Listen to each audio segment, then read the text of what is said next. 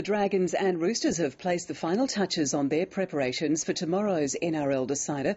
Both clubs are seeking to make history. The Dragons want to break a 31 year premiership drought. The Roosters could become the first team in 76 years to go from wooden spooners to premiers in one year.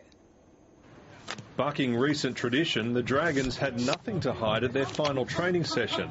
Looking relaxed and confident, the favourites were put through a light run in front of interested onlookers at the Rabbitohs home base. Prop Michael Weyman is still a concern for the minor premiers. He's expected to play but seemed restricted by an ongoing groin problem.